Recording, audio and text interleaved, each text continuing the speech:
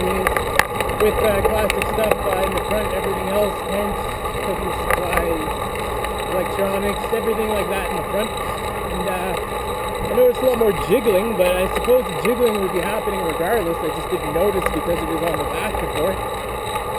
And uh, yeah, here we are biking. It's uh, day 17 or so, 18 maybe.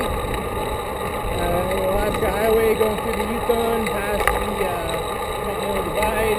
Making my way to Teslin for a little bit of a resupply. I hope they have some naphtha or white gas for me because uh, I'm pretty low on that. Probably won't get me to Whitehorse. Can't find any. Maybe I'll pick up some gasoline or uh, some food I don't have to cook. I do love cooking though. Starting to get hot. Bugs are coming out. Past three days, beautiful sunshine. Nice wispy clouds out there today. Yeah, yeah, it's, uh, it's going pretty well. Quite enjoy this.